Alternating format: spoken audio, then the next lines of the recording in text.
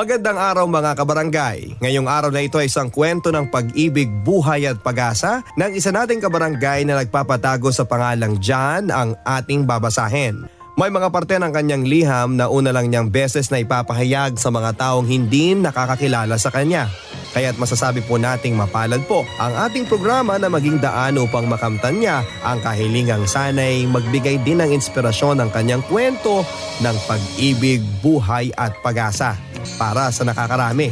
Narito po at ating pakinggan. Dear Papa Dudot, Una sa lahat ay nais kong ipabatid sa lahat na ako'y isang masugid na tagapakinig ng inyong programa. Batid po ng mga taong nakakakilala sa akin ng lubos ng aking kinakaadikan tuwing linggo ng hapon ay ang Barangay Love Stories. Marahil katulad din ng iba para sa inyo ang inyong mapapakinggan sa aking kwento Subalit masasabi kong ito'y kakaiba sapagkat kapaitan ang naging bunga ng isang bagay na itinuturing kong pinakamaganda na maaari mong gawin sa isang tao, ang mahalin siya. Sa iyong mga tagapakinig papadudot marahil ang iba sa kanila hindi magugustuhan ang aking ibabahagi sa inyo. Subalit nais ko lamang sabihin na sana'y maging bukas ang isip nila sa aking karanasan at sa ibabahagi ko ngayon. Alam ko nakikinig ang isa sa mga pangunaing tauhan sa storya kong ito dahil bago kami magkahiwalay ay hiniling niya sa akin na isulat ko ang aming kwento upang kapulutan rin ng aral sa mga nakakaparinig nito. Kung nasaan man siya, naroon. I will be here for you Somewhere in the night, I'll shine a light for you. Somewhere in the night, I'll be by your side. I will be here for you. Sisimulan ko ang aking kwento noong 4th year high school pa lamang ako, taong 2005. Hindi naman sa pagmamayabang ay isa ako sa mga pinakasikat sa aming paaralan dahil na rin sa aking taglay na katalinuhan, kakisigan ng katawan at dahil na rin sa attractive kong muka. Nasa 4th year high school na ako noon nang mapasali ako sa isang pageant na hindi ko naman talaga binigyan ng halaga. Alam mo yung nanonood lang ako sa mga pageant pero never ako nagkagusto or nagka-interest na sumali dahil sa alam ko namang magastos ito at isa pa ay ang focus ko lang naman noon ay mag-aral dahil running ako for valedictoria noon. Jan, napag-usapan na ng department heads na ikaw ang magiging delegate ng school for the pageant. Sabi ng aming school principal. Pero ma'am, wala po akong experience dyan. Isa pa eh, hindi po ako sanay sa mga ganyang bagay. Ano ba naman yung almost 3 weeks na preparation for that? Look, your advisor Miss Bernadette ay isang dating professional model. Do ngayon ay part-time lang pero matutulungan ka niya. Ma'am, pwede po bang pag-isipan ko muna? Tapos kausapin ko din muna yung mga parents ko tungkol dito. Okay dyan, basta don't give us a false hope ha. We expect a lot from you. Ibang bagay para sa akin papadudot ang makarinig ng ganong klase ng pagkumbinse sapagkat ibang tao na ang pupuri sa akin at nagluluklok sa isang bagay na prestihiyoso at sila ay totoong seryoso. Papadudot after akong kausapin ng aming school principal ay kinausap ko na ang parents ko about the matter. Medyo pressured ako sa part ko kasi nga konting time na lang para makapag-decide dahil malapit na ang pageant. At nang makausap ko na ang mga magulang ko ay nagulat ako sa reaksyon nila. Tuwang-tuwa at baka sa mukha nila ang excitement at support nila para sa akin. Okay, mukhang gusto rin nilang pasalihin ako ah. Sabi ko sa aking sarili. Ang sabi pa ng parents ko, I have the guts. Meron naman akong itsura and I have the intelligence na swak na swak pagdating sa mga contest na ganyan. At wag ko daw alalahanin ang gastos dahil marami naman silang naipong pera at isa pa panigurado daw ay sagot ng school ang expenditures sa pagsali ko. Hindi naman sa pag-iinarte papadudot pero hindi kasi ako yung malakas ang loob na rumampa sa stage, ngumiti at magapansin sa mga tao. Oo, marami ngang pumapansin sa akin sa school at kung minsan ay sila pang gumagawa ng eksena para lang mapansin ko sila. Pero pagdating naman sa bagay na iyon ay hindi ko talaga kaya. Iniisip ko pa nga lang ay bumabaligtad na ang sikmura ko. What more pa kaya kung nandun ako mismo sa stage? Ang dami kong kinukonsider na factors with regards to that. Yung pageant na yon ay tungkol sa UN as the title goes ay Mr. and Miss United Nations 2005.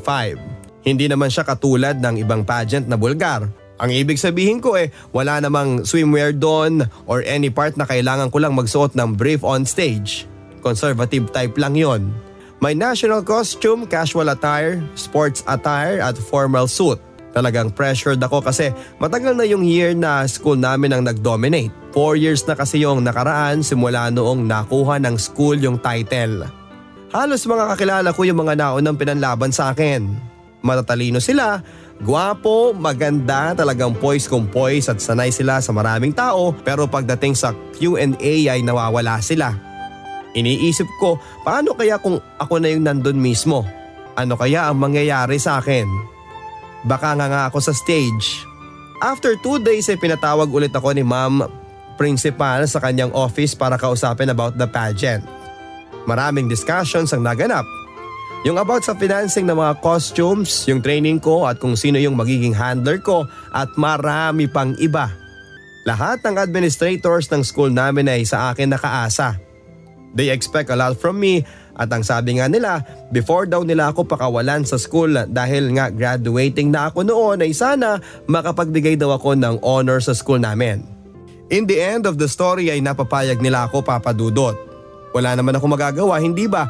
Baka ipitin pa nila ang credentials ko kapag hindi sila pinagbigyan. After all, lahat daw ng expenses ay sasagutin nila. Kaya ang sabi ko sa sarili ko, aabusuhin ko na kahit papaano. Subalit ang hindi lang maganda ay nang malaman ko kung sino yung babaeng delegate na ipanlalaban ng school namin. Si Janine pala, ang ex-girlfriend ko. Medyo asiwa ako noong malaman ko na siya ang kapartner ko dahil nga sa hindi naging maganda ang breakup naming dalawa. Wala ring closure na naganap. At higit sa lahat, kapag nagkataon, siya lang ang kakilala ko sa rehearsal kaya wala akong choice kundi ang kausapin si Janine, ang babaeng minsang nagpatibok at nanakit sa puso ko. Konting flashback mga kabarangay. Year 2003, naging kami ni Janine. She's very smart, maganda siya at talagang kaingitan ng lalaking magiging kasintahan niya. Siya yung klase ng tao na tahimik lang pero kapag nagsalita na, especially when it comes to debate ay tila nagbubuga siya ng apoy dahil sa sobrang napakagaling ng communication skills niya. At ito ang isa sa mga dahilan kung bakit ako na in love sa kanya. Dalawang buwan ko lamang siyang niligawan dahil hindi naman sa pagiging assuming pero nakaramdaman kong parang may gusto siya sa akin. Noong pasukan na ng second year high school, napapansin kong lagi siyang nakatitig sa akin at tila ba nagpapahiwatig ng pagkagusto din sa akin. Hindi nga ako nagkamali dahil September noon nang simulan ko siyang ligawan at November 2003 nang sagutin niya ako. Pero hindi laging masaya. At tama nga ang sinasabi ng nakakarami na kung gaano mo kabilis nakuha ang isang bagay ay ganun din kabilis itong mawawala sa iyo. Nahuli ko siyang may kasamang ibang lalaki sa park malapit sa school namin. Nakita ko kung paano siya halikan ng lalaki sa lips niya. Well, yung mabilis na halik lang naman pero kahit na. Ibig sabihin lang na hindi tapat sa akin si Janine dahil nagawa pa niyang makipaghalikan sa ibang lalaki. Kung sana'y makipagmabutihan man lang tulad ng pakikipagkaibigan ng ginawa niya, mauunawaan ko pa pero hindi eh. Kitang kita ko ang kataksilang ginawa niya sa akin. Kinabukasan after ng klase namin ay kinausap ko siya para makipagkalas na sa kanya. Pero nagulat ako sa ginawa niya. Walang kaabog-abog ay pumayag siyang makipaghiwalay sa akin. Sa puntong iyon ay umalis na ako at inisip kong napakasama niyang tao dahil nagawa niyang paglaruan ang damdamin ko at niloko lang niya ako. Dahil sa pagka-bad ko ay umuwi na ako sa amin at wala na akong gana pang umaten sa assembly ng club namin. Buti na lamang at hindi ako napansin ng lady guard namin kaya nakascape ako at nakalabas ng school. Naghintay na ako ng bus na sasakyan ko. Tamang tama dahil ang dating ng bus ay 4.30 at dahil alas 4 na Maghihintay na lang ako ng kaunting oras bago ito dumating kaya tumambay muna ako sa may waiting shed. Doon ay may isang taong nag-aabang. Pakiwari ko'y bus din ang sasakyan niya at palihim ko siyang sinusulyapan dahil medyo na-stuck ang ulo ko nang makita ko ang itsura niya. Head turner ito ah, sabi ko sa aking sarili. Artistahin ang dating niya at talagang napaka-attractive. Pansin ko sa suot niyang uniform na siya'y taga-ibang school. At kung hindi ako nagkakamali ay logo na nasa uniform niya ang isang kilalang school dito sa amin na pangkulehiyo. Tama nga ako sapagkat sabay kaming sumakay sa bus nang dumating ito ng 4.30. Aaminin ko medyo sa kanya na balang ang atensyon ko dahil magkatabi kami sa bus. Alam mo Papa Dudon, I wasn't thinking about my breakup with Janine dahil matagal ko namang nararamdaman na malapit na rin kami magkahiwalay. At dumating na nga yung justification na hinihintay ko. Yung makita siyang may ibang lalaki. Kaya naging baliwala na lang sa akin ang aming hiwalayan nang makakita ako ng bago kong prospect.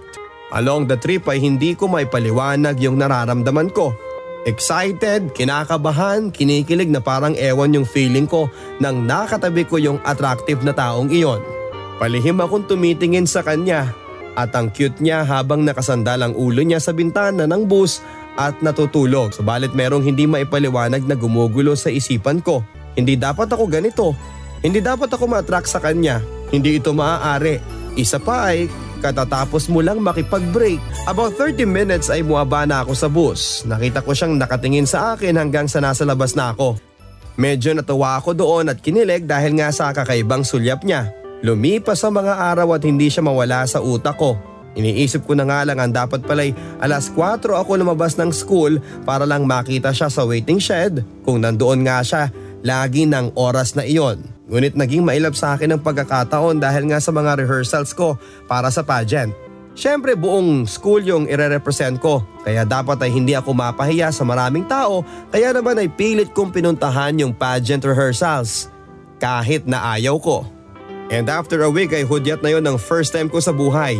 Pre-pageant iyon at ang venue ay sa bulwagan ng aming lungsod. Marami kami mga pageant candidates, 15 pairs coming from 15 different schools. Sa pre-pageant ay naganap ang talent portion. Lahat sila ay magagaling subalit hindi ako nagpatalo sa kanila. Fire dance ang talent ko. Talagang sinadya ko iyon para mabuhayan ng maraming tao. Yung tugtog na ginamit ko ay yung background music sa radio ad ninyo na Pistahang Barangay. Nakalimutan ko na po kasi yung title. Baka sa mukha ng mga judges ang pagkaaliw sa aking ginawang performance. At alam ko pati sa mga audience na natuwa sila dahil sa tilian, sigaw at cheer nila ay halos hindi magkarinigan sa sobrang lakas. Idagdag niyo pa ang costume kong medyo hindi conservative type dahil naka-boxer briefs lang yon at litaw na litaw ang makisig kong pangangatawan lalo na ang six-pack abs ko. Yang hiya nga lang ako after ng talent portion dahil na hindi rin ako sanay na magpakita sa maraming tao na ganun lamang ang aking kasuotan. Maraming natuwa sa talent performance ko dahil pinag-usapan talaga iyon sa school namin. Maski ang mga teachers ko ay hindi makapaniwala na ako nga yung representative ng school dahil sa mahihayin akong tao tapos ay sinabak ako sa malawakang pageant na ginaganap sa aming lungsod. Ang mga sumunod na araw ay puspusa na ang pag-iensayo para sa nalalapit na coronation night. Dito ay sinanay ako ng tamang paraan ng paglakad at pagrampa sa stage. Tamang pag-project, pagngiti at uh, pag-ayos ng tindig at ang paraan ng pagsagot sa question and answer portion. From Tuesday to Thursday ang practice ko dahil kinabukasan na ang big night para sa pageant. At noong Thursday ay pinayagan na ako umuwi dahil na rin sa tindi ng practice ko noong mga nakaraang araw. At para na rin daw ako makapagpahinga at makapaghanda para sa coronation night kinabukasan. Masayang masaya ako noon dahil 4pm nang umalis ako sa school.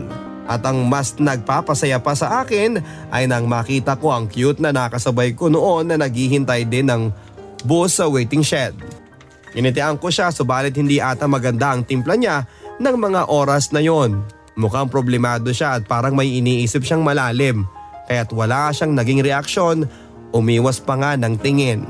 After 30 minutes ay dumating na rin ang bus. As usual, medyo puno na yung bus. Pero may mga bakante pa rin upuan. Medyo nagulat lang ako nang tumabi siya sa akin. To think na may bakante pa namang upuan at saka isipin nyo mga kabarangay, ang dami kong dala doon kaya paniguradong masikip sa space na pag-uupuan namin. Kinikilig pa rin talaga ako noong tabihan niya ako at nagpipigil ako ng ngiti. At nang makarting ako ng babaan ay nagpaalam ako sa kanya subalit hindi niya ako pinansin. Nang ako'y nakababa na sa bus at nasa labas na para sumakay ng tricycle ay nakatitig siyang muli sa akin. Kinawayan at nginitian ko siya. Pero ang ginawa lang niya ay nagtaas ng sabay ng dalawa niyang kilay. Tanda ng pagpapaalam niya sa akin. Alam mo yung parang kaibigan mo yung taong hindi mo naman talaga kilala. Pero dahil lagi kayong nagkikita, feeling close na rin kayo. Kinabukasan ay ang coronation night ng Mr. and Miss United Nations 2005. Kaya naman sobrang kabado ako. Isinapuso ko ang lahat ng tinuro sa akin kaya naman naniniwala akong naging maayos naman ang tindig ko habang nasa stage ako. Malapit na sa final part ng programa. Kaya tinawag na kaming lahat sa stage para magbigay ng minor awards. Doon ay nakuha ko ang Mr. Photogenic, Mr. Congeniality, Best in Casual Attire, Best in National Costume at Best in Formal Attire. Para sa akin ay sapat na iyon dahil nakakuha ako ng 5 minor awards subalit hindi pa pala tapos ang laban dahil tinawag na ang top 5 na male and female candidates na sasabak sa huling pagsubok, ang question and answer portion. At hindi ko sukat akalaing mapapasok pa ako sa top 5 kaya no choice ako kundi harapin ang nakaabang na question and answer na strict English dapat ang kasagutan. Tapos na ang lahat ng candidates na sumabak sa Q&A and I'm the last to undergo this portion. Tibok lamang ng puso ko ang naririnig ko dahil sa sobrang kaba ko. Hinihiling ko noon sa Diyos na huwag niyang hayaang ma-mental block ako at huwag sanang mapahiya sa maraming tao. Bumunot ako ng papel na hawak ng host at nabunot ko ang pangalan ng isang judge na magtatanong sa akin Papadudot may video po ako ng Q&A ko kaya na-type ko pa ng buo ang tanong at yung answer ko. Who became your greatest inspiration while joining this tough competition? Dalawang beses niyang inulit ang tanong. Medyo bahagya ako na blanco dahil kung greatest inspiration ay dapat isang tao lamang ang isasagot ko. Medyo natagalan ako bago sumagot nang makita ko yung taong crush ko sa may waiting shed na nanonood sa pageant. Halata sa mukha niyang inaabangan niya ang kasagutan ko. At dahil na rin siguro nakita ko siya at may halong kaba akong nararamdaman kaya naging ganito ang sagot ko. My greatest inspiration while I'm here in this pageant is the person whom I met several days ago. I don't know that person's name and if you're listening right now, I just want to say thank you. For you have made me realize that after heartbreaking incident that I went through in my life, You were there to give happiness on my heart secretly. The feeling is unexplainable. But you gave a miracle and you woke up my heart to continue to face this challenge in my life. Ganito ang sinagot ko sa tanong ng judge. Hindi ko na nga nagamit ang tinuro sa akin na dapat pag sumagot ay may eye contact sa audience at higit sa lahat ay dapat sa judge. Kasi sa buong pagsagot ko ay sa kanya lamang ako nakatingin Right after kong sumagot ay palakpakan at nagsigawan ng mga tao. Nakita ko rin siyang pumapalakpak at ngumingiti at pilit ko mang pinipigilan ang sarili ko. Subalit unti-unti na atang nahuhulog ang loob ko sa taong naging crush ko sa may waiting shed. Sa hindi ko inaasahang pagkakataon ay tinanghal akong title holder na Mr. United Nations 2005 at si Janine naman ay Miss United Nations, second runner-up. Masayang masaya ang buong school namin dahil sa pagkapanalo ng kanilang mga delegates. Ako na hindi pa rin makapaniwala sa new milestone ng buhay ko ay masaya na rin sapagkat marami akong napapasayang tao. Hindi ko alam sa sarili ko pero nang unti-unti nang umalis sa mga tao sa bulwagan ay bigla akong hinanap yung crush ko. Lingon dito, lingon doon hanggang sa makita ko na siya. Palis na rin siya kaya hinabol ko siya. Sayang nga lang dahil nang malapit ko na siyang maabutan ay may humarang na mga babaeng schoolmate ko at sinabing pa-picture naman kami kasama ko. Congrats nga pala. At iyon nga, Natapos ang araw na medyo malungkot ako dahil hindi ko nakausap ang crush ko. Subalit masaya rin naman dahil napanood niya ako. Dumaan ang mga araw at buwan. Marso na, nakatapos na ako ng high school at sobrang saya ko dahil class salutatorian ako ng aming batch. Noong summer vacation naman ay nakapag-decide akong kumuha ng BSBA, Major in Marketing Management dahil sa gusto ko ang field ng business. At dahil na rin sa flexible ang course na ito, ibig sabihin kahit saang larangan ng trabaho ay may ganito. Dito na lang din malapit sa amin ako nag-aral kasi ayoko makipagsapalaran sa ibang lugar na hindi ko kabisado. At isa pa ay nais ko sanang makitang muli ang crush ko kaya sinadya ko mag-aral sa paaralang pinapasukan niya. Pasukan na noon at kinintal ko sa aking isipan na hanapin ang crush ko ngunit mukhang mahihirapan ata ako dahil na rin sa napakalaki ng aming paaralan. Madaming tao ang nag-aaral dito at medyo malalayo ang buildings ng ibang colleges dito sa building ng College of Business and Accountancy. Typical first day scene na nangyari sa school namin. Ang magpakilala sa harap ng klase, ang tumahimik dahil walang kakilala at ang medyo makipagkwentuhan sa mga nakikipag-usap sa'yo. Isa na roon si Yumi. Half Filipino-Japanese si Yumi. At may pagkamaingay sa room at yung tipong umaalingaw-ngaw ang boses niya sa tuwing wala pa yung teacher namin. Pero pagdating naman sa class hours ay akala mo'y anghel sa sobrang tahimik at ayaw ng mag-ingay. Nauso rin noon sa college ang uh, seating arrangement by alphabetical order. At hindi ko na kinagulat na si Yumi ang makakatabi ko dahil sa surname namin na magkamukha. Naging maganda naman ang pwesto ko dahil sa tabi ako ng bintana.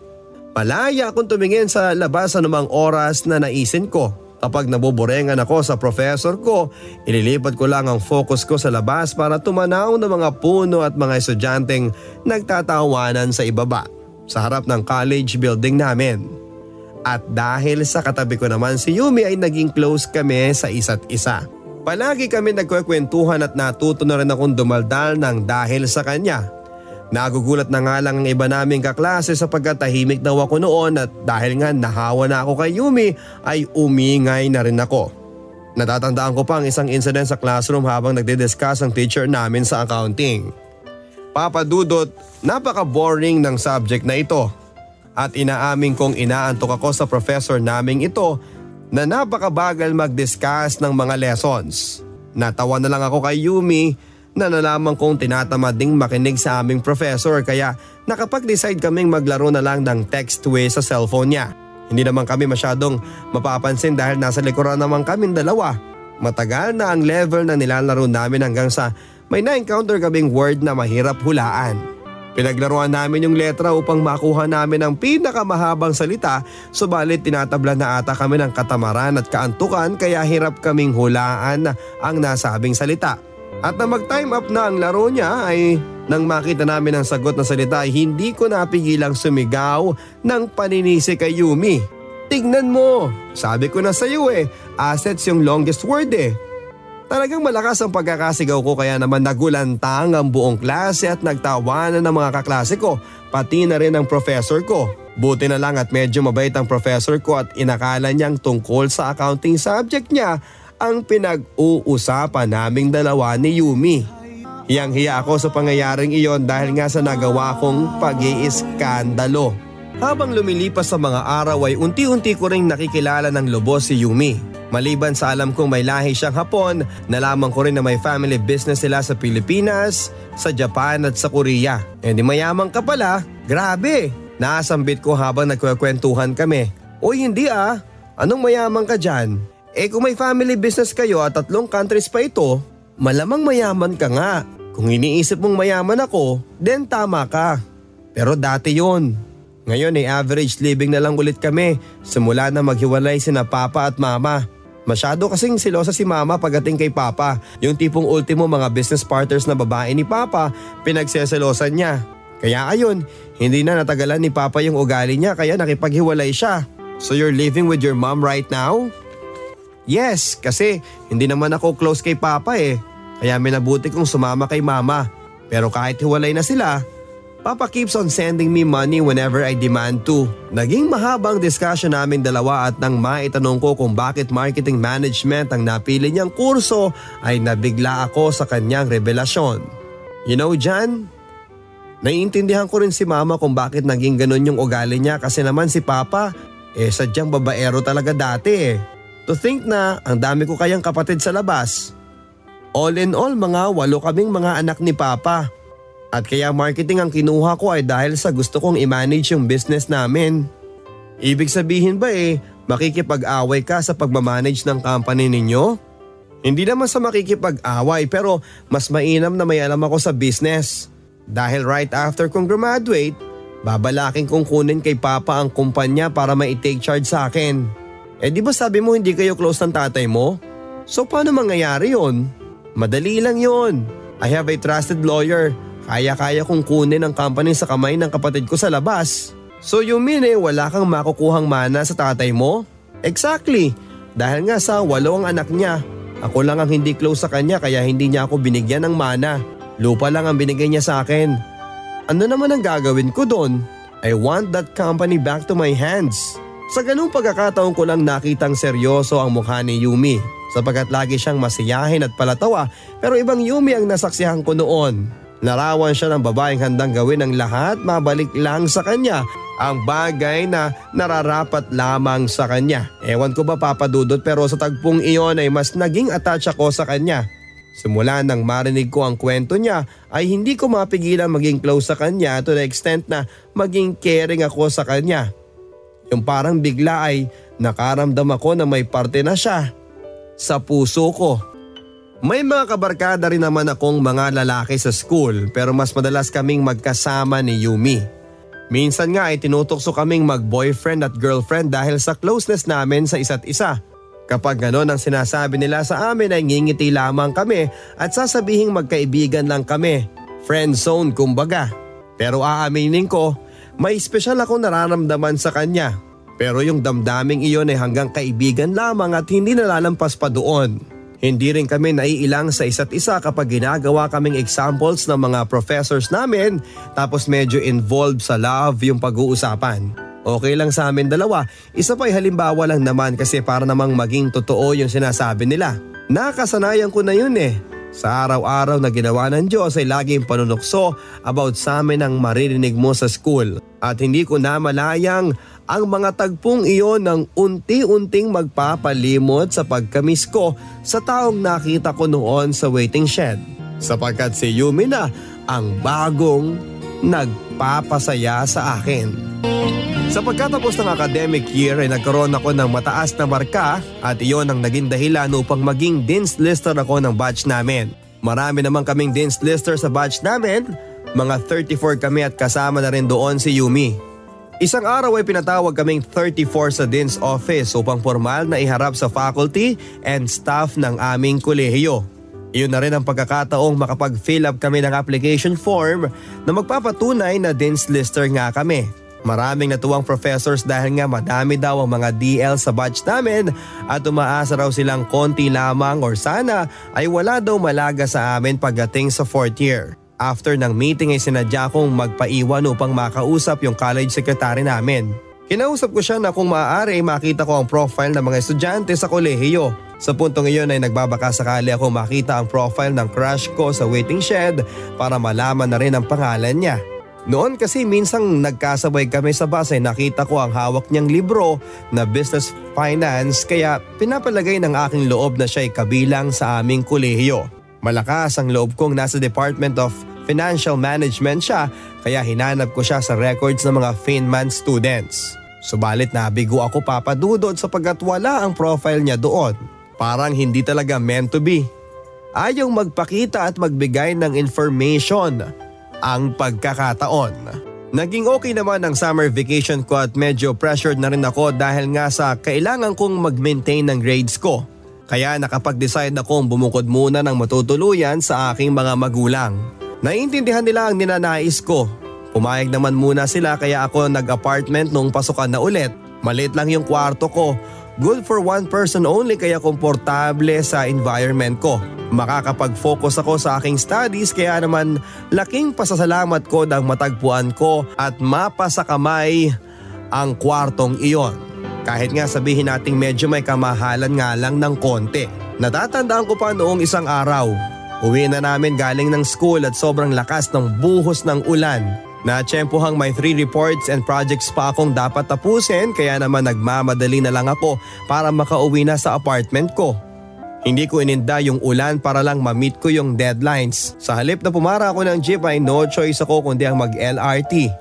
Alam kong haharapin ko ang siksikang mga tao pero wala akong pakialam dahil ang nasa isip ko lamang noon ay dapat matapos ko na ang mga ginagawa ko. Ngunit sa hindi inaasahang pagkakataon ay makikita kong muli ang taong nagpatibok ng aking puso. Ang taong muntik ko nang nakalimutan sa tagal ng panahong hindi kami nagkita. At ang taong naging inspirasyon ko kaya ako pumasok sa aming eskwelahan. Oo mga kabarangay. Ganon pa rin ang itsura niya subalit lalo siyang naging attractive sa paningin ko. Nakuha na naman niya ang atensyon ko at mukhang nagmamadali rin siya base sa mga kinikilos niya. Pero ako medyo umandar ang pagkapilyo ko kaya unti-unti akong lumapit sa kanya Sakto naman habang naglalakad papunta sa kanya ay sabay dating ng tren. Kaya ayun, naguunahan ng mga tao at medyo na-stranded ako sa lugar at no choice ako noon. Hanggang tanaw na lamang siya at nakauwi ako sa bahay na bad trip. Kahit papaano ay dapat na ring maging masaya dahil nga nakita ko na ulit ang secret crush ko. Lumipas pa ang mga buwan at gano'n na lang ang ginawa ko. Kahit na hindi ako nagmamadali ay sinasadya kong sumakay ng LRT pa uwi. Wala akong pakialam kung makikipagsiksikan ako sa maraming tao basta lang dumating at makita ko siya at masaya na ako noon. Hanggang isang araw ay nakisama ang pagkakataon. Nandun ulit siya habang naghihintay ng tren pero ngayon ay nakaupo na siya sa may bench. Kakausapin ko na siya.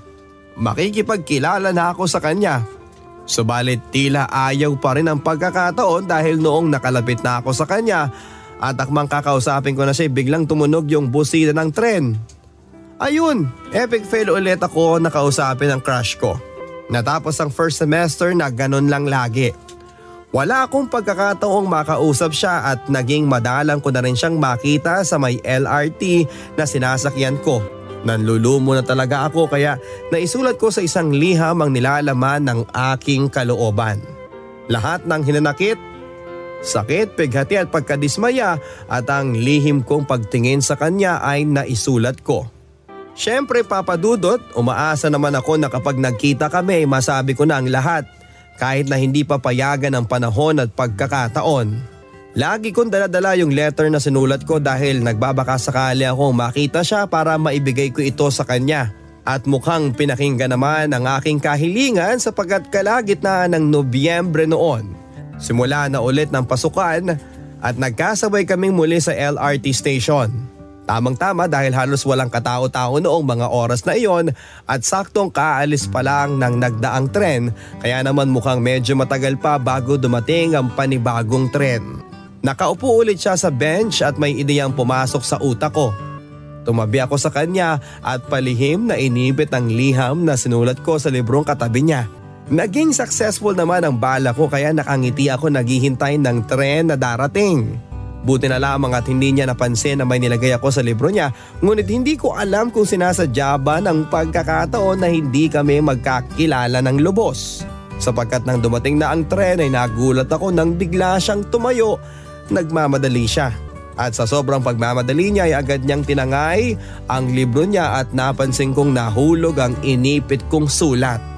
Napansin niya na may nahulog at akmang kukunin na niya at hahabulin pa sana niya kaya nga lang ay nahulog ito doon sa mismong railroad kaya hindi na niya inabutan pa.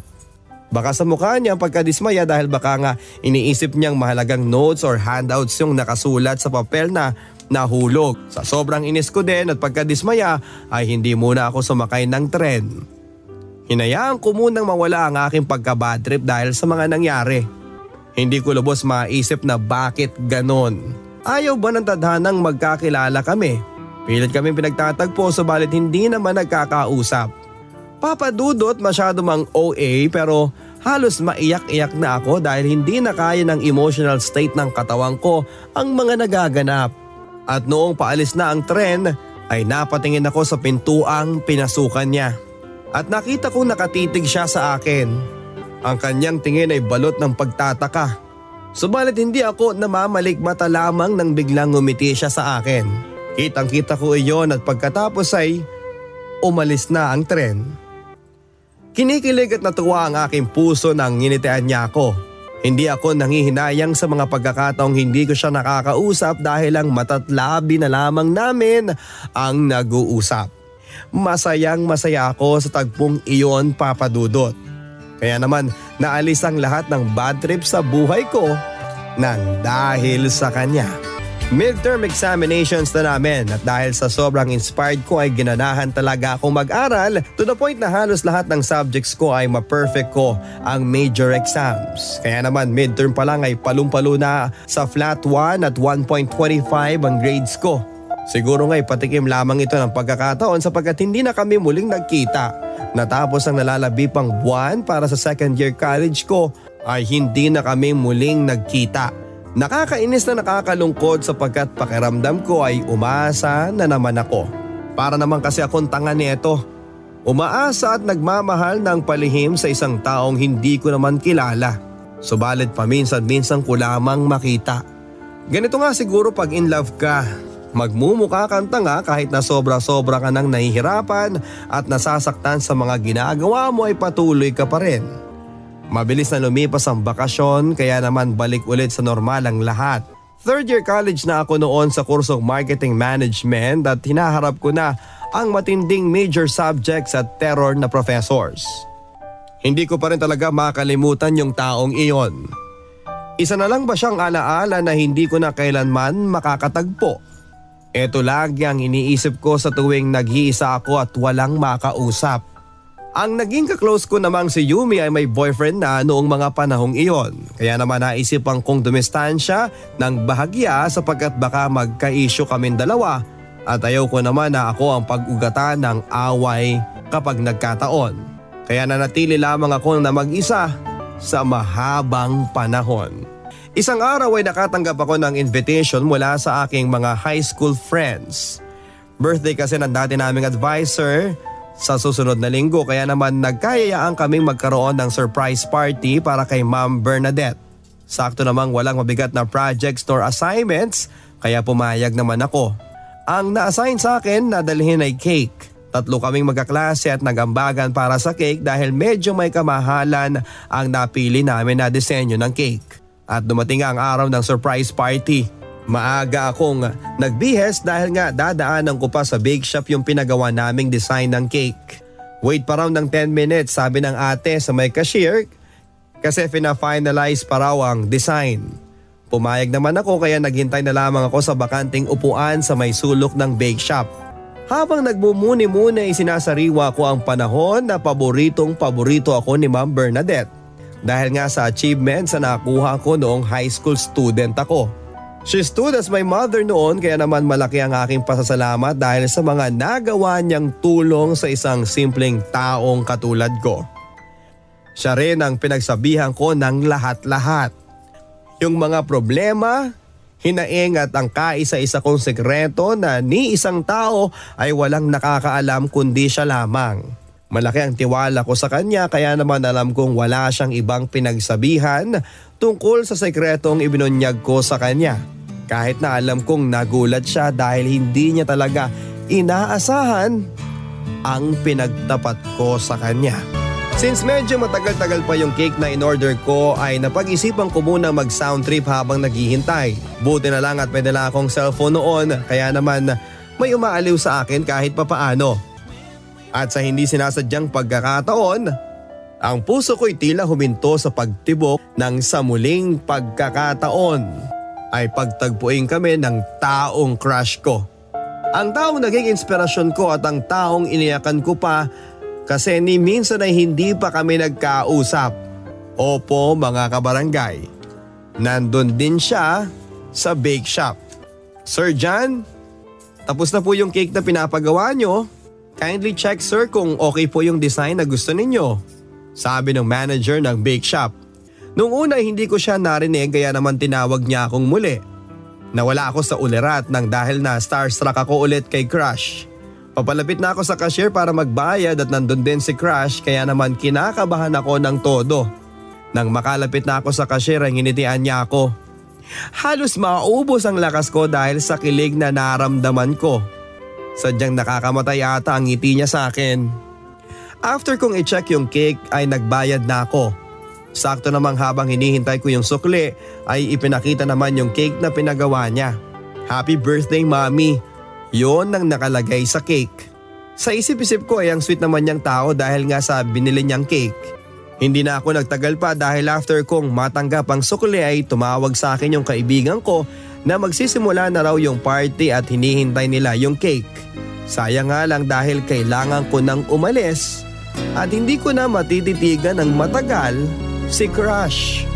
Halatang nasorpresa siya sa regalong binigay namin at ito rin ang tanda ng utang na loob ng class advisory niya dahil sa mga nagawa niyang kabutihan at pagtulong sa amin.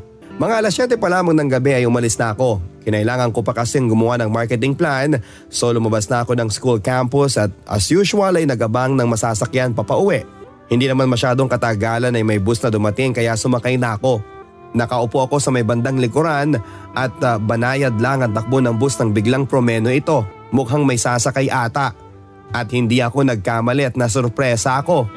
Yung crush ko, nandito rin siya at sasakay siya sa bus Naganap siya ng mauupuan.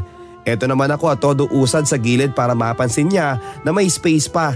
Tumabi naman siya sa akin at ngumiti. Ang sweet ng pagkakangiti niya. Ramdam ko ang pagkakakilig ko sapagkat hindi ko alam kung ano ba ang ikikilos ko. Ngayong katabi ko na siya. Alam mo yun Papa Dudot, ang dami kong gustong sabihin sa kanya subalit hindi ko naman masabi dahil sa sobrang kaba at kilig. Habang naglalakbay patungo sa paroroon na ng bus ay nag-sound trip na labang siya. At eto naman ako, nilakasan ko na ang loob ko dahil malapit na akong buwaba ng bus. Alam mo, matagal na ako may gusto sa'yo. From the moment na nakita kita sa waiting shed, few years back, hanggang ngayon ay hindi ka pa rin mawala sa isip at puso ko. Sorry hindi kita kilala at wala akong alam about sa'yo, pero there's just one thing I would like to confess. Mahal kita. Saktong after ng confession ko ay nastapat na ako ng kantong bababaan ko. Kinapalan ko lang ang mukha ko at alam kong hindi rin niya narinig yon kasi naman ay naka-headset siya at paniguradong wala siyang pakialam sa mga sinasabi ko. Mabilis na lumipas ang panahon at second semester na ng third year ko. Ordinaryong araw lamang yon, nasa classroom lang kami at may discussion ng professor kung ubod ng bagal magturo. International marketing ang kanyang itinuturo. Puro theory sa mga sinasabi niya kaya naman sobrang nakakatamad talagang pakinggan ang mga lesson. Since alphabetical order kami sa seating arrangement at sakto namang nasa gilid ako ng room at tapat ng bintana, hindi ko maiwasang sumilip sa bintana dahil naiingit ako sa mga estudyanteng masasaya. Buti pa sila, nagtatawanan samantalang kami rito ay halos patay na ng sobrang pagkabagot. At patuloy ang aking pagtitig sa labas nang makita ko ang isang pamilyar na mukha. Mabilis na tumibok ang puso ko. Siya nga, hindi ako maaaring magkamali. Siya ang crush ko. Pakiwari ko'y base sa direksyong tinatahak niya ay papasok siya sa building namin. Ibig sabihin, taga-college lang din siya. Nabuhayan ako ng dugo. Mukhang nagmamadali siya pero may napansin ako sa suot niyang ID lace. Per course and year level kasi ang lanyard ng ID namin para daw madaling makilala kung ano ang year mo. Right after our class ay lumabas ako at tumungo ako sa Dean's office upang magtanong ng mga copies ng ID lanyard. Nakausap ko ang college secretary namin, binigyan niya ako ng kopya ng ID lanyards ng mga estudyante sa kolehiyo. Based sa aking pagkakaalala, may white and touch of blue ang lanyard ni Crush. Kaya noong nakita ko ang kopya, napagtanto kong BS Accountancy, fourth year level na siya. Mukhang magiging malala na ata ang aking kasalukuyang katauhan sapagkat nagmahal ako ng taong hindi ko naman kilala at paniguradong walang pakialam sa akin. Papadudot alam kong huhusgahan ako ng marami sa inyo, subalit eto talaga ako. Tanggap ko ang sarili ko Tanggap kong may pagkukulang sa katauhan ko at siya ang alam kong makakakompleto nito. Kung dati ay pinipigilan ko ang sarili ko na wag magmahal ng taong hindi naman karapat dapat sa aking puso, ngayon ay hindi ko na talaga kaya pa. Makasalanan man kung makasalanan subalit tao lang din naman ako at human nature ang magmahal.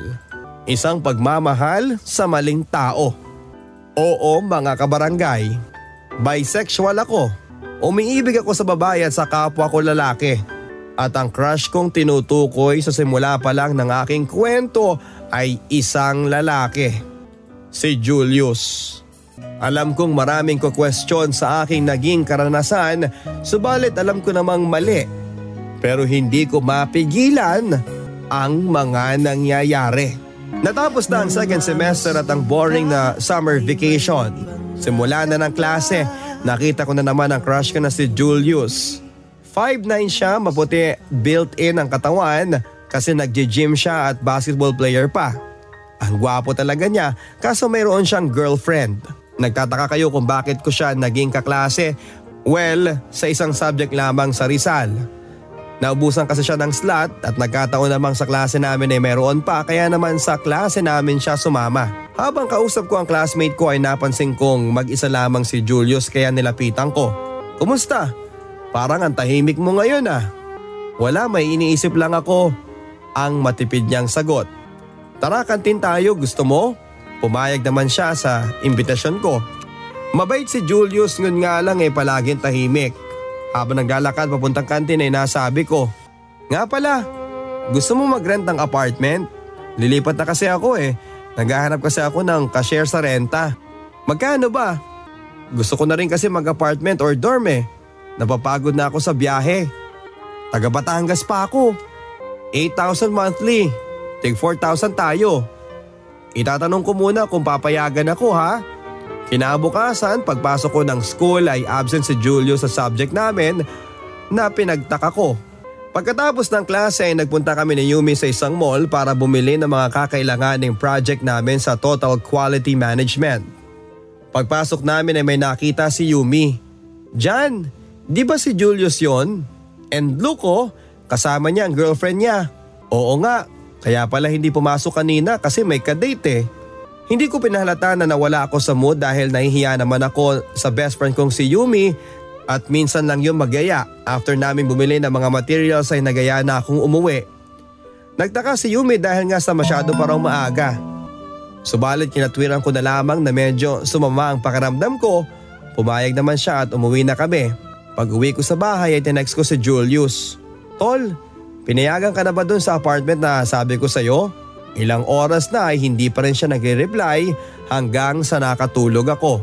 Sumunod na araw after class ay nakita ko si Julius kasama ang ibang varsity player. Bigla niya akong tinawag. Jan, yung sa apartment nga pala. Pinayagan ako eh. Kailan tayo lilipat? Next week, Tuesday para walang pasok. Sige, pasensya na nga pala ha. Kung hindi ako nakapag-reply sa text mo, wala kasi akong load eh. Okay lang yon. O sige, may practice pa kami eh. Tumango na lang ako sabay ngiti. Tuesday na at magkikita na kami ni Julius para lumipat sa apartment na tutuluyan namin. Ayon sa napag-usapan, magkikita kami sa tapat ng isang fast food chain sa tapat ng LRT Ligarda Station. Ang dami mong dala. Tara na para makapag-ayos na tayo. Habang naglalakad kami ni Julius papunta ng apartment ay sinabi ko na yung features ng apartment na tutuluyan namin. Dalawang kwarto sa second floor tapos CR. Sala at kusina sa baba.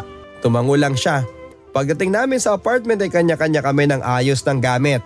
Gabi na kami natapos, mag-ayos ng aming sariling kwarto. Julius Tara, dinner muna tayo sa labas. Nagugutom ako eh. Sige lang, ligo muna ako. Pinagpawisan ako, kakabuhat ng mga gamit eh. Sige ako rin, pagkatapos mo ako ha. Para pagkatapos eh, mag-dinner eh, tulog na lang. Nagsimula ng maligo si Julius habang naghahanda na rin ako para maligo. Habang bumababa ako ng hagdan ay siya namang akyat ni Julius galing sa CR. Parang hihimatayin ako papadudod sa nakita ko. Totoo ba ito? Ang crush ko na nakatapis lang ay nasa harapan ko. Kitang kita ko ang maputi at macho niyang katawan, may six pack na abs at machong braso at balikat na maskuladong maskulado. Nanlambot ang tuhod ko kay Julius pero hindi ko pinahalata. Wala pang nakakaalam na bay ako. Kahit boyfriend o experience na kahit na ano ay hindi ko pa nasusubukan dahil hindi pa ganong katagal simula nang tinanggap ko ang sarili ko ng ganito. Ang bilis mo maligo ah, ang nasabi ko sa kanya. Gutom na kasi ako tol eh. Bilisan mong maligo ah. Sige para makakain na rin tayo. Sagot ko. Binilisan ko ang maligo at magbihes, lumabas kami ni Julius para makahanap ng makakainan. Para akong may kasamang patay. Akala ko kasi sa klase lang tahimik si Julius. Binasa ko ang katahimikan na mamagitan sa amin dalawa na magtanong ako. Kumusta na nga pala kayo ng GF mo Julius? Kami? Ayos naman. Ikaw? Wala akong GF eh. Talaga sa itsura mong yan wala kang GF? Bakit di mo ligawan si Yumi? Close friend ko lang yun. Seatmate ko kasi Kaya naging ka-close ko. Tol, huwag ka maingay ha. Nakwento niya sa akin na gusto ka niya eh. Ligawan mo na. Maganda naman si Yumi eh. Ah talaga? Baka nagbibiro lang yon. Mukhang hindi naman tol eh. Sagot ni Julius. Ngumiti na lang ako. Kung alam mo lang, ikaw ang type ko. Yon ang tumatakbo noon sa isip ko. Pagkatapos namin kumain ni Julius ay bumalik na kami sa apartment at dahil nga pagod kaming pareho ay nakatulog kaming kaagad. Lumipas ang mga ilang araw, tara Yumi, wala naman tayong next class eh, punta tayo ng covered court. May laro daw si Julius. Pagpasok namin ng covered court, patapos na ang game. Nanalo si Julius at marami ang natuwa dahil nga nanalo ang team nila. Pamaya-maya pa ay napag-decide namin ni Yumi na umalis na nang biglang, Oy Jan, pauwi ka na ba? Sabay na tayo. Sama ka Yumi, inuman tayo sa apartment namin ni Jan. Pag-aaya ni Julius. Ah eh, hindi ako pwede eh. Kayo na lang kasi may gagawin pa ako. Ang pagsagot ni Yumi. Ah ganun ba? Sige ikaw ang bahala. Sabay-sabay kaming tatlong lumabas ng campus. Humiwalay na si Yumi tapos eh pauwi na kami ni Julius. Tol, Daan muna tayo sa 7-Eleven ha, bibili ako ng beer. Seryoso ka talaga? Tanong ko. Oo tol, at saka wala namang pasok bukas eh. O sige, at 10 cans ng alak ang binili ni Julius. Grabe ka Julius, patayan ba to? Kaya yan, mahina ka bang uminom? Bago umuwi ay bumili muna kami ng pwedeng gawing pulutan. Pag uwi namin sa bahay, sinimulan na naming mag-inom sa sala. One on one ang bumagsak, talo, sabi ni Julius. Parang napakasaya mo ngayon ah. Siyempre nanalo kami sa basketball eh. Nakakatato na kami ng beer. Kaya pa tol? Tanong niya sa akin. Oo naman. Oh, lasing ka na yata eh. Hindi pa ako lasing tol. Huling tig isang kanan ang iniinom namin. Sumuka si Julius. Oh, okay ka lang? Hindi mo pala kaya uminom ng marami eh. Pahinga na tayo. Hatid na kita sa kwarto mo. Pagyayaya ko sa kanya. Pareho kaming pagyewang-gewang paakyat ng kwarto. Inutusan ko si Julius na magpalit na lamang siya ng damit dahil nga nasukahan niya ito at ako na lamang ang bahala sa mga pinagkainan namin sa sala. Pagkatapos ko magligpit ay tinignan ko muna si Julius sa kwarto niya bago matulog. Nakakatulog na siya nang hindi man lang nagpapalit ng damit. Punong-puno ng suka ang damit niya.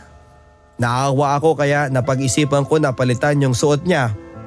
Kumuha ako ng short at t-shirt pamalit sa suot niya. Dahan-dahan ko tinanggal ang damit niya at nakita ko naman na maputi at maskulado niyang katawan. Parang pang model ng underwear ang katawan niya. Sumunod ay dahan-dahan kong tinanggal ang suot niyang pantalon. Napalunok ako at pinagpapawisan at kinakabahan. Kitang kita ko ang buong katawan ni Julius dahil brief na lamang ang natira. Pinipigilan ko ang sarili ko pero hindi ko nagawa. Pinagpapantasyahan ko siya dati at ngayon ay pagkakataong ko na. Tinitigan ko si Julius habang natutulog at ang gwapo talaga niya. Mapula ang mga labi niya. Unti-unti akong lumapit sa mukha niya at dahan-dahan palapit ng palapit hanggang sa maglapat ang mukha naming dalawa. Pumikit ako at dahan-dahan kong inilapat ang labi ko sa labi niya. Konti na lang, magdidikit na ang mga ito hanggang sa naglapat ang mga labi namin.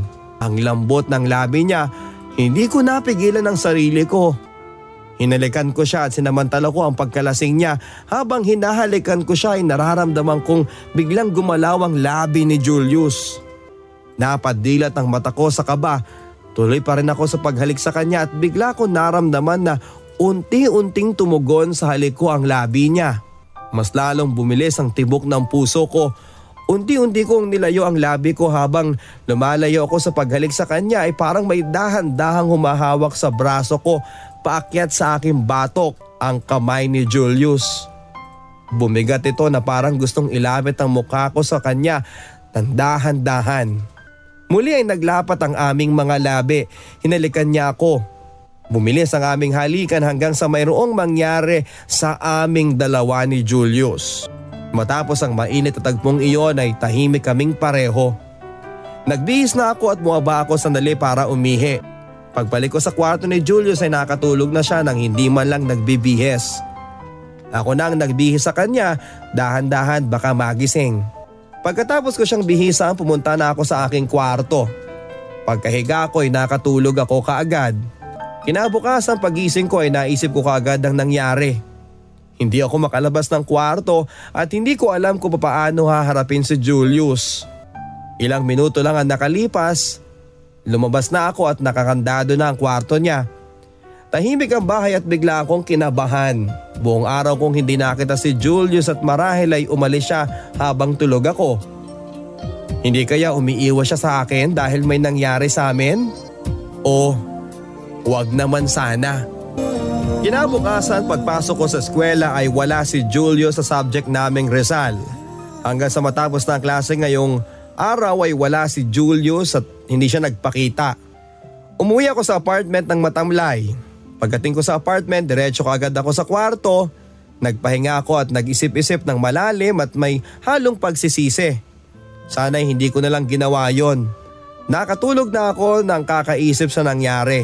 Hindi na ako nakakain ng dinner at kinabukasan may klase ulit. Pagpasok ko ng room ay late na ako ng 15 minutes at nandoon si Julius. Hindi ako makatingin ng diretso sa kanya. After class ay lumapit si Julius. Jan, Pasensya na nga pala kung umalis na ako last time nang hindi nagpapaalam sa'yo. Tumawag kasi si mama eh, pinapauwi ako. Okay lang yon. Makdo tayo, may treat. Nagulat ako at hindi ko in-expect ang magiging ganito ang pakikitungo niya sa akin after nang nangyari. Siguro nga sobrang lasing siya noon kaya hindi niya naalala. Pagkatapos ng last subject ko which is entrepreneurship ay naghintay ako sa lobby ng college building namin kasi ongoing pa rin ang klase ni Julius sa applied auditing. After ng klase niya ay nagpunta kami sa McDo. Hindi ka ba uuwi sa apartment ngayon Julius? Uuwi pero may practice pa ako ng basketball eh. Ah sige, una na lang akong umuwi. Pagkatapos namin kumain ay pumunta na siya sa practice niya. Ako naman, umuwi na papunta ng apartment. Nakangiti na ako kasi wala ng problema. Mukhang hindi talaga niya naalala. Pagkarating ko ng apartment ay nanood muna ako ng TV habang gumagawa ng homework. Ilang sandali lang ay dumating na si Julius. Umakit na siya at nagbihes then buwaba na siya sabay gumawa ng homework. Tumunog ang cellphone ko. Si Yumi nag-text. Jan, samahan mo ako bukas sa SM Manila ha after ng class. May bibilhin ako. Habang nag-type ako ng message ay nagtanong si Julius. Jan, yung about nga pala sa nangyari sa atin nung isang gabi. Ha bakit? Ano ba nangyari last night? Kabado kong sagot kay Julius. Yung sa kwarto ko. Bakit mo ginawa yon? Yung ano? Hmm, alam mo yun eh. Huwag ka na magmaang-maangan, kutungan kita eh. Natahimik akong bigla. Pinagpawisan at napahinga ng malalim. Yung tingin ni Julius ay parang may halong pang-aasar. Ayun ah, ba? Lasing ako nun eh, sabay ngiti. Talaga lang ha? Sabay ngiti na may halong pangaasar. Bakit ka ganyan makangiti parang nangaasar ka? Tusukin kita ng ballpen gusto mo? Ah, bakit ka napipikon? Sabay tawa. Kuha lang ako ng tubig. Habang naglalakad ako papunta ng kitchen ay bahagya siyang nagparinig. Hindi alam ha, kunwari ka pa. Naglukot ako ng papel saka binato kay Julius. Pagbalik niya, tahimik ang paligid. Tulog na ako dyan, maaga pang pasok natin eh, sabi ko. Sige tapusin ko lang to tapos tulog na rin ako. Umakyat na si Julius at natulog na. Ako naman patapos na ang ginagawa ko. Antok na rin ako kaya natulog na rin ako. Kinabukasan ay may kumatok sa kwarto. Sino yan? Tanong ko habang pipikit-pikit ang mata ko. Malalate na tayo, bumangon ka na. Nagulat ako at si Julius, ginigising ako para sumabay na pumasok. Kinilig naman ako doon. Pagbaba ko ay nakaredy na ang breakfast. Nagulat ako. Wow! May sakit ka ba Julius? Niluto ko na lahat at saka tayo na nga lang dalawang magkasama sa bahay tapos pagkakanya-kanya pa tayo. Tara kain na! Habang kumakain ay hindi ako makapagpigil na mag-comment sa luto niya. Magaling ka palang magluto. Talaga? okay lang ba yung pagkakaluto? Oo, itlog lang naman kasi to at saka hotdog eh. Walang kahirap-hirap iluto, sabay tawa. Yun lang ang meron sa ref eh. Kumain ka na nga lang dyan. Pagkatapos kumain ay naligo na siya habang nag-aayos ako ng gamit. After niya ako naman ang naligo. Pagkatapos ay sabay na rin kaming pumasok at nakasalubong namin si Yumi. Jan, samahan mo ako mamaya ha?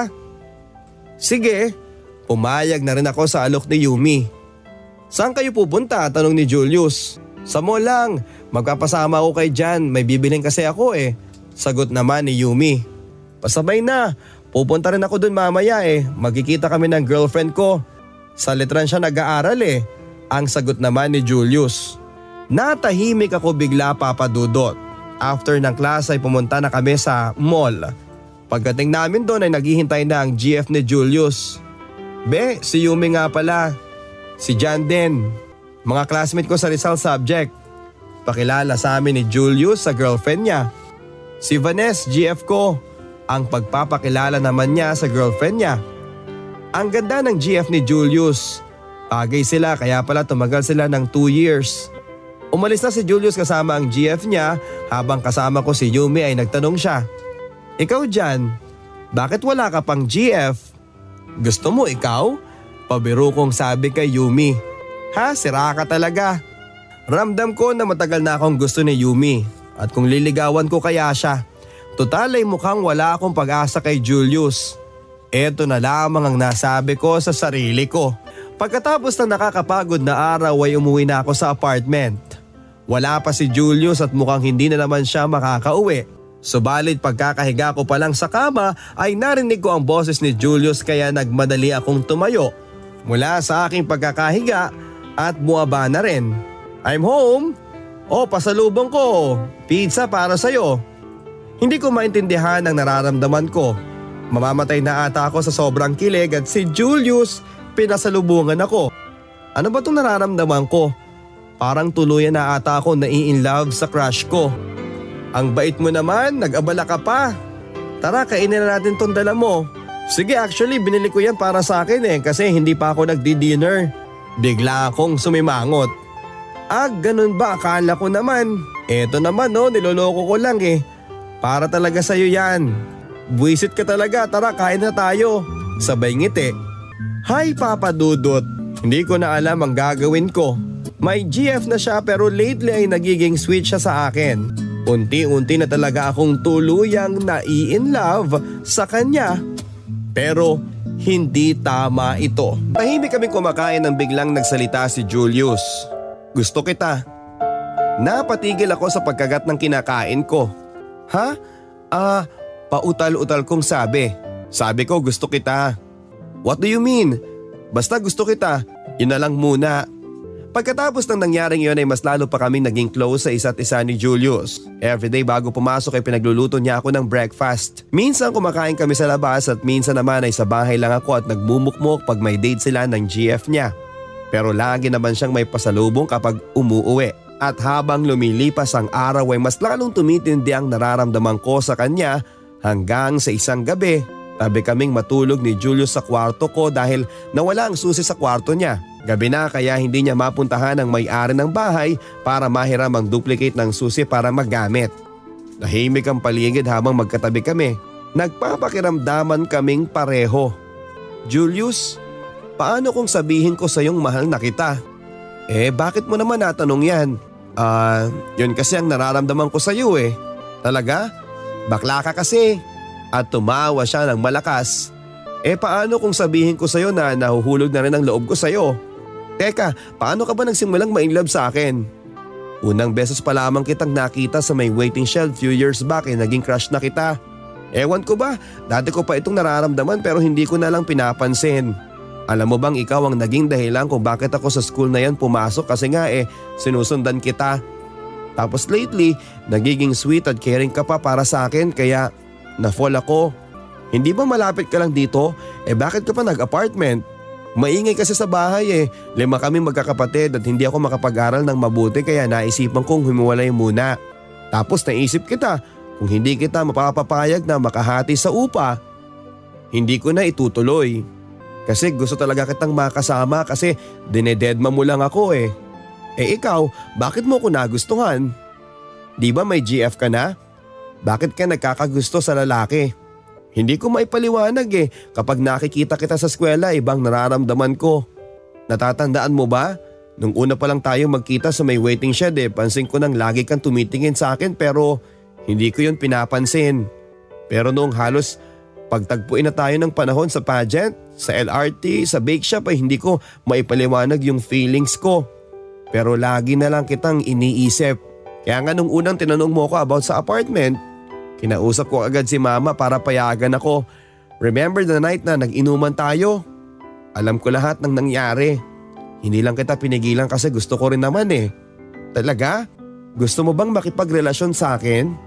May GF ako eh. Tama na siguro na ganito na lang muna tayo. Pero ang gusto ko, may tawagan tayong dalawa.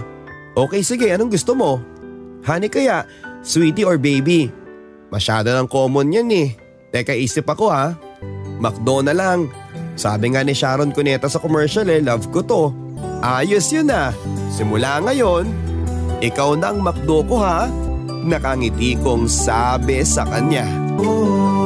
Hanggang sa nakatulog na kaming dalawa papadudot. Kinabukasan ay sabay kaming pumasok ni Julius. Sa pagtawid namin ay hinila niya ako papalapit sa kanya. Yun pala ay may dadaan pang sasakyan. Napayakap ako sa kanya. Nakakahiya. Ang dami pa naman kaming kasabay sa pagtawid.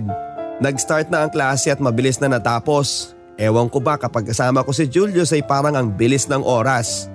Tuesday walang pasok, nag-gym si Julius kaya naiwan akong mag-isa sa bahay. Hapon ang nakauwi si Julius, naligo siya pagkatapos ay nagpalit ng damit. Kumusta ang pag-gym? Ayun nakakapagod. Kiss mo si Macdo para mawala ang pagod. Nagre-ring ang cellphone ni Julius. Teka lang nga, tumatawag sa akin si mama. Hello ma? Ha? Bakit? Sigurado ka ba? Pagkatapos nilang mag-usap ay napansin kong natulala siya. Biglang umakyat si Julius at nagmamadali na nagpalit ng damit ano bang sabi ng mama mo? Bakit parang problemado ka? Uuwi muna ako sa Batangas. May aayusin lang ako ha. Ano ba kasi yon? Sabihin mo na. Nag-aalala ako eh. Basta lagi mong tatandaan kahit na anong mangyari, mahal kita. Kitang kita ko sa mga mata ni Julius na may mabigat siyang problema na haharapin sa kanila at hindi ko rin maipaliwanag ang nararamdaman ko. Sige na, aalis na ako. Babalik ka agad ako pag okay na. Iti-text na lang kita ha, ingatan mo ang sarili mo. Dali-daling lumabas si Julius ng pintuan at tuluyan nang umalis. Hindi ko alam kung ano ang nangyari pero alam ko maayos din yon kung ano man yon. Bakit kaya hindi pa nagtitext si Julius? Limang oras nang nakalipas ha. Makdo, bakit hindi ka pa nagtitext? Ingat ka dyan ha. Mahal na mahal kita. Lumipas ang isang araw. Dalawa, tatlo hanggang isang linggo. Wala pa rin text si Julius hanggang sa isang araw ay may kumatok sa pinto. Dali-dali kong binuksan ang pintuan pero hindi si Julius ang nakita ko. Si Ma'am Bernadette, ang advisor ko noong high school pa lamang ako. Dito ba ang apartment na tinutuluyan ni Julius? Opo, dito nga po. Jan, pwede ba kitang makausap? Sige po, wala pong problema, pasok po kayo. Ako nga pala ang nanay ni Julius. Hiningi ko yung address sa kanya para personal kong madalaw ka. Gulat na gulat ako noon nang malaman kong si Ma'am Bernadette pala ang nanay niya. May nangyari po ba sa kanya? Hindi na po kasi siya nagte-text mula nang umuwi sa inyo eh. He's okay. Pumunta lang ako dito para makausap ka. Bakit po? Nag-iisa kong anak si Julius at ako ang may hawak ng cellphone niya kaya ako rin ang nakakabasa ng mga text mo. Kung ano man ang namamagitan sa inyong dalawa, sana'y tapusin mo na. Alam mo naman siguro na may girlfriend siya. Nagulat ako sa mga sinabi ng nanay ni Julius. Alam naman natin na mali ang relasyon ninyong dalawa. Kaisa-isa kong anak yan. Ayokong mababaliwala ang mga pinaghirapan ko at gusto kong magkaapo. At isa pa, mga bata pa kayo, hindi nyo pa alam ang ginagawa ninyo. Wala pong namamagitan sa amin ni Julius. Magkaibigan lang po kami. Huwag mo nang ikaila. Inamin na rin sa akin ni Julius ang tungkol sa inyo. At kaya ako pala siya pinauwi noon dahil sumugod ang nanay ng GF niya sa amin. Three months nang buntis si Vanessa. Magiging tatay na si Julius. Mahirap bang tanggapin dahil bata pa ang anak ko pero andyan na. Kaya ang pakiusap ko lang sa inyo, huwag mo na siyang guluhin. Huwag ka na sanang dumagdag pa sa mga problema ko at ng pamilya ko. Nangingilid na ang luha ko pero pinipigilan ko. Sige po gagawin ko po ang gusto ninyo. Yun lang sana ang pakiusap ko sa iyo. Sige aalis na ako. Sige po, ingat kayo sa biyahe. Pagkaalis ni Ma'am Bernadette ay dahan-dahang umagos ang luha ko sa aking pisngi. Hindi ko na mapigilan sa sobrang sakit ng nararamdaman ko. Walang tigil sa pagluha ang mata ko. Hagulhol ako ng hagulhol sa pag-iyak. Bakit ganito ang nangyari sa amin ni Julius? Bakit? Kamakailan lang ay masaya kaming dalawa, nagkwekwentuhan, nag-aasaran, pinagluluto ng breakfast sa umaga, pagising ko ay siya ang unang nagpapangiti sa akin. Bakit ganito? Natapos ang araw nang wala akong ginawa kundi ang umiyak ng umiyak. Namumugto na ang aking mga mata. Nawalan ako ng gana sa pag-aaral hanggang sa nabalitaan ko na lang na nag-drop si Julius. Siguro nga'y dapat kalimutan ko na siya. Magiging ama na siya pagkakaroon ng normal na buhay. Hindi tulad sa akin kapag kami ang nagkatuluyan.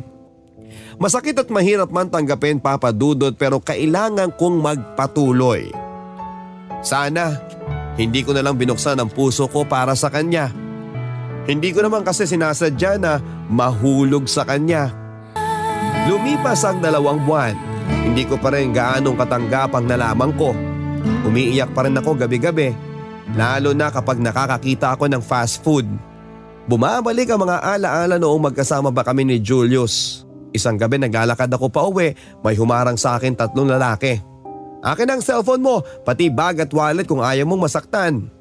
Tumakbo ako pero naaabutan nila ako. Pinagbubugbog ako ng tatlong lalaki. Hoy, itigil niyo yan!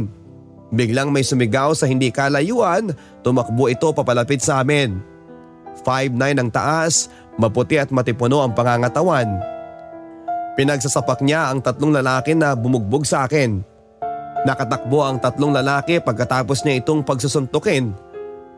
Dumagsa na rin kasi ang ibang mga meron para mag-usisa sa mga nangyari. Ayos ka lang ba?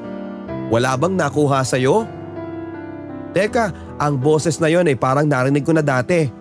Medyo nahihilo ako kaya hindi ko namukhaan. At ang mahimasmasan ako, Julius? Totoo ba itong nakikita ko? Si Julius nga! Makdo, okay ka lang ba? Wala bang nakuha sa'yo? Unti-unting pumatak ang mga luha ko habang kinakausap ni Julius. Ang tagal kitang hinintay. Hindi mo lang alam kung anong nangyari sa buhay ko simula nang iniwan mo ko. Gabi-gabi akong umiiyak. Niyakap ko siya ng mahigpit papadudot. Miss na kita. Miss na miss na kita. Pabulong kong sinasabi habang humahagulhol sa pag-iyak. Tumayo ka na dyan. Para kang bata, iyak ka ng iyak. Tara uwi na tayo. Karga-karga ako ni Julius pa uwi ng apartment. Pagdating sa bahay, anong nangyari? Bakit ka bumalik dito?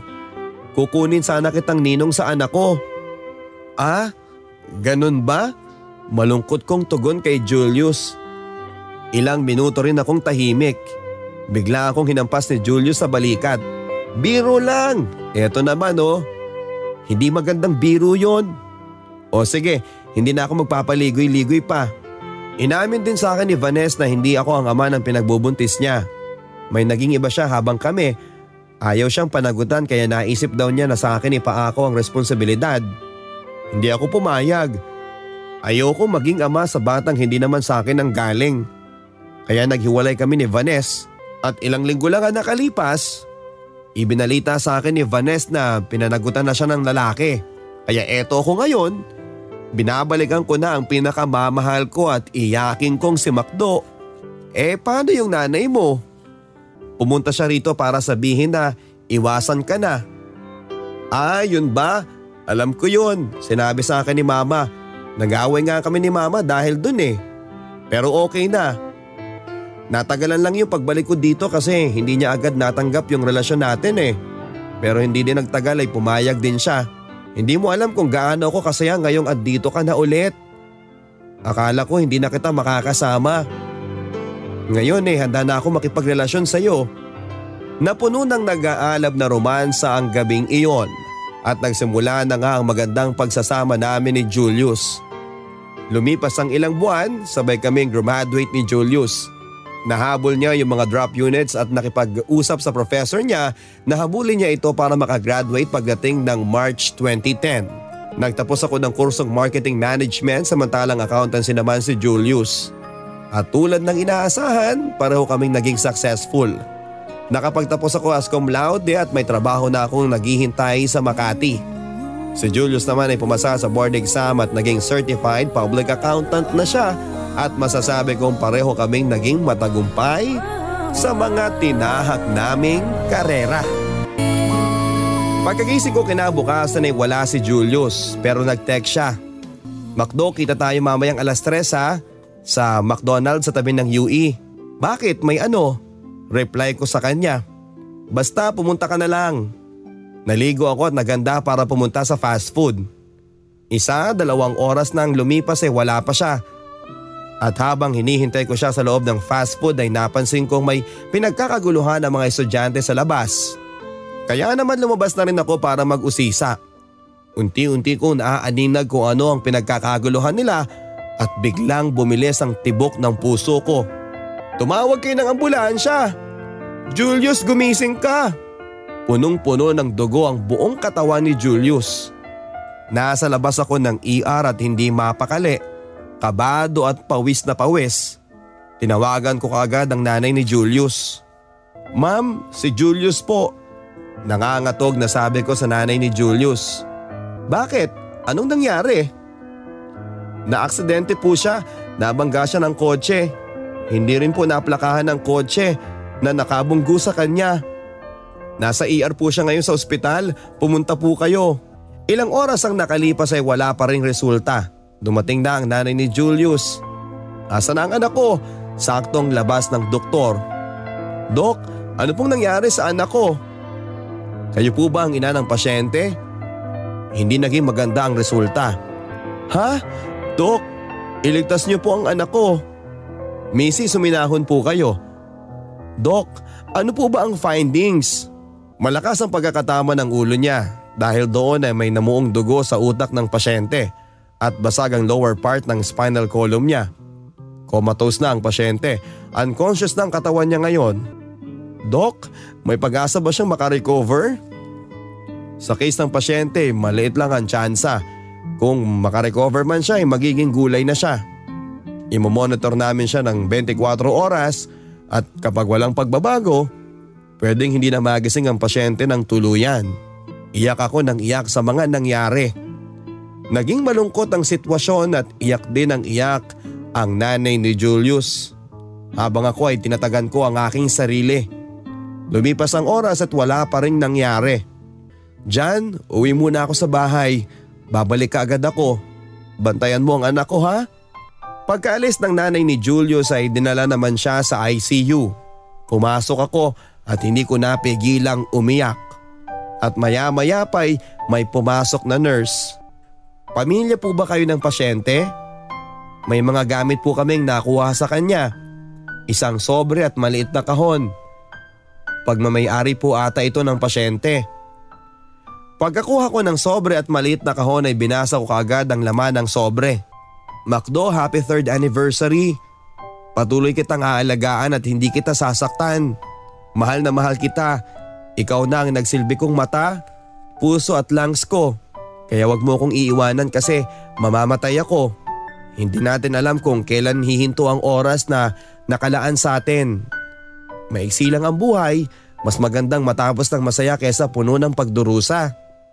Dalawang singsing ang laman ng kahon. Sa ibabaw ng singsing ay may nakaukit na makdo at sa ilalim naman ay pangalan naming dalawa. Napatingin akong bigla kay Julius. Gumising ka na. Alam kong naririnig mo ko.